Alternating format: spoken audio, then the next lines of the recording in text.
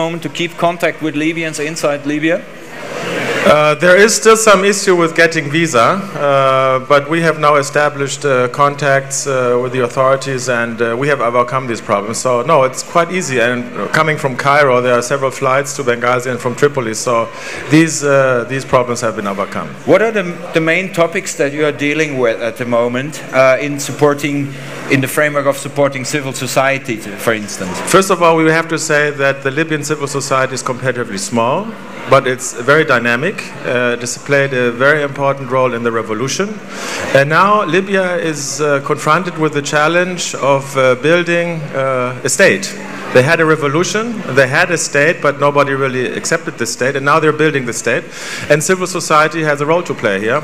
And we are supporting uh, civil society organizations. The main issue in, in, in, Libya, I think, is really education and training. Mm-hmm. Uh, very banal things, and, and we are doing this in the field of civil society. There's a certain component for uh, social media activism, and we're looking into also working together in a more traditional media sense. But this is the stuff we do, and we include also, this is important important Libyans in international programs, that they get exposure, that they get interactions uh, with other partners of ours in the region and beyond the region. Mm -hmm. Martin, you have been last time in uh, Libya the week before. Yeah, and a couple of days ago, yeah. A couple of days ago.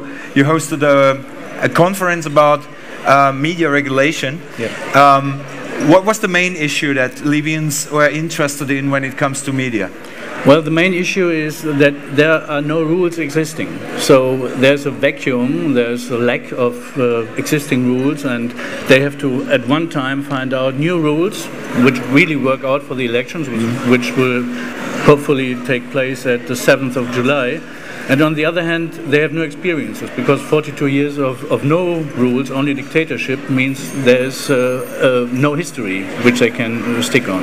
What does that mean for support work now that there is no yeah, now tradition in, in having something which is similar to what has been built, has to be built up now. Yeah, yeah, we are we are working now in uh, a lot of cities. We are working with 10 trainers at this moment, and uh, we are really starting from the scratch. There's nothing. So uh, that is really new for us uh, to have no history of journalism where we can hook on. So we have really to build on basic skills and to focus on the new uh, content of preparing people for elections, mm. and this is really challenging. It's challenging for the journalists and challenging for the people. Mm. And the main thing is uh, it is a it's a full state of rumors, and the only uh, reliability can be uh, professional media, and this is not existing. So we have a, a, a full case of rumors, a full box, and it's open, and it's every day is a new day, and everybody is listening to something, and it cannot be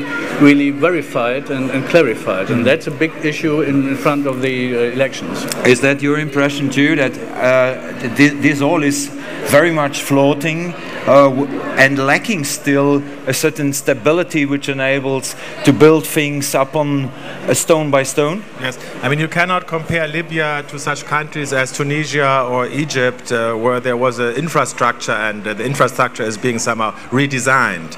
No, uh, they are starting from scratch uh, uh, and then you have also the external influences. in the media situation you have a very strong influence from the Gulf countries, one specific countries some of the satellite stations which are playing an important role in Libya, they have moved outside, for instance, to Cairo because they couldn't find the staff in Libya. So they made a necessity out of the situation. Does that mean that the influence from, and, uh, and let's say in a positive way, the support from outside, because it is such big vacuum, is that part of the problem or part of the solution? For me, it's part of the problem because um, everybody drops in. So you have, uh, you, of course, European solutions, you have Arab solutions, you have Chinese solutions. Everybody would like to offer a solution, and because uh, there is no own way, there is no own rule clarified, uh, it is it is an open discussion. It is not done. Uh, but how are, are the Libyans dealing with all that advice they get now? All these people coming in, knowing quite well what they have to do. How are they dealing with it? My understanding with our target audiences, we are very welcome. We are uh, welcome on the personal level, on the institutional level with our partners.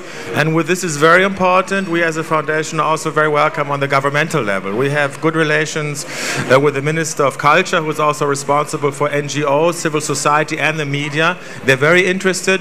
They are very pro European. I would even say they are very friendly to Germany. They have a high regard. We have established contacts with the University of Benghazi. And uh, what is uh, fascinating for us as a foundation, usually if we go to a country, the first question they ask, uh, how much money are you going to give us? In Libya, this is not the priority. They seem to have funds and they're really interested in know how and our networks and the exchange of knowledge. And this is, of course, an interesting perspective. Mm. Now we are ahead of the, uh, of the elections, and uh, obviously, after the elections, the situation might change slightly or uh, in a bigger way.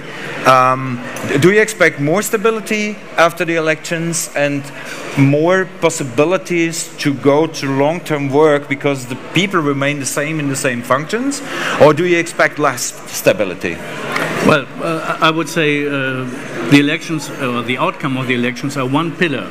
So without, there's no uh, no success uh, in the future. But nobody knows what really will be the outcome. Can also be some uh, tribal Salafist influence, which we really don't like. But uh, it, if it's an election, it will be the vote of the people. So we have. It's really an open open question. Mm -hmm. I would also not my what not uh, make a bet on the outcome of the election. There is a political process. They are starting a long road. What we hear and what we gather, there's a lot of activism. There's a lot of interest, and this is fruitful and this is important. If you want to set up uh, somehow a democratic society, and we can only wish them well.